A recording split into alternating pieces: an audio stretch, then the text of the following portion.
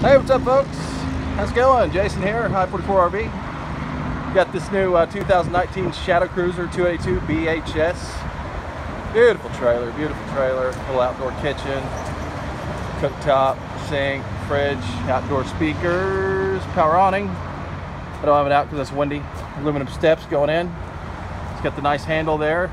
You can then uh, pull yourself on into this beautiful trailer. Look at that floor, real light, light texture.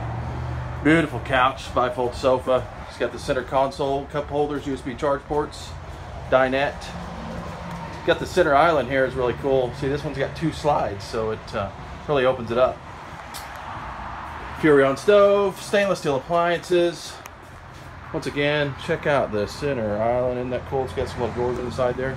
See, we got it. It gives you an extra pantry over here, down here by the bunks. Check that out. Pretty cool. Um, yep, yep, bunks, bunks.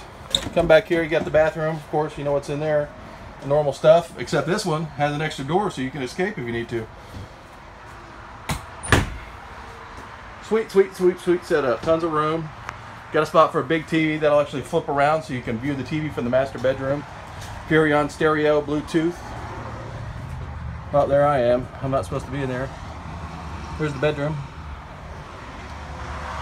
Check it out. Only at I-44 RV in Tulsa, Oklahoma can you get a Shadow Cruiser 282 BHS. Check it out.